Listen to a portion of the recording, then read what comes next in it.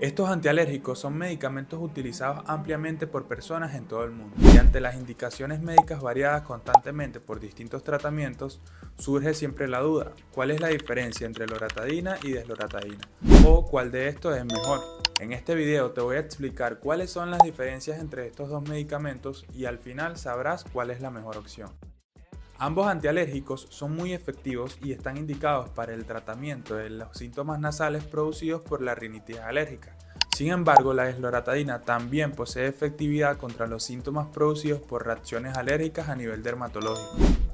A su vez, la desloratadina tiene un efecto más prolongado. Su vida media es de 27 horas, mucho mayor en comparación a las 12 a 15 horas de la loratadina, lo que resulta en un efecto más duradero por parte de la desloratadina. Otra de las principales diferencias entre estos medicamentos se basa en sus efectos adversos, y es que la desloratadina no produce somnolencia, el cual es uno de los principales efectos adversos de la loratadina. ¿Y esto a qué se debe? Pues la desloratadina no tiene la capacidad de penetrar la barrera hematoencefálica. Esto quiere decir que no realiza ningún efecto a nivel neurológico, por ende, se basa principalmente en el bloqueo de los receptores H1 periféricos de la histamina, reduciendo así los síntomas alérgicos y evitando las reacciones adversas neurológicas, permitiendo menos precauciones para su uso durante el día.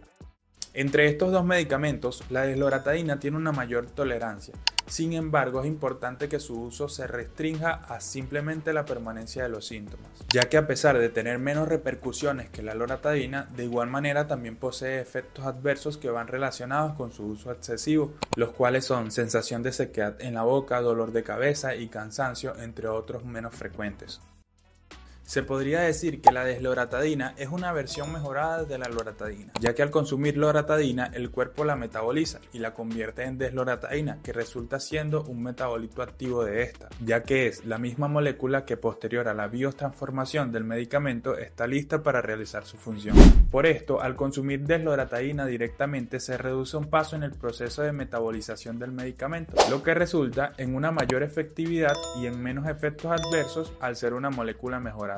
A pesar de estas recomendaciones, como siempre recalco, cualquier medicamento más allá de su venta libre debe ser consumido simplemente por la prescripción de un profesional, debido a las consecuencias poco mencionadas como la dependencia o la resistencia a dicho medicamento y muchas otras complicaciones que por más inofensivo que parezca un medicamento puede llegar a causar. Si te gustó este video dale like, compártelo y suscríbete a mi canal para más repasos como este.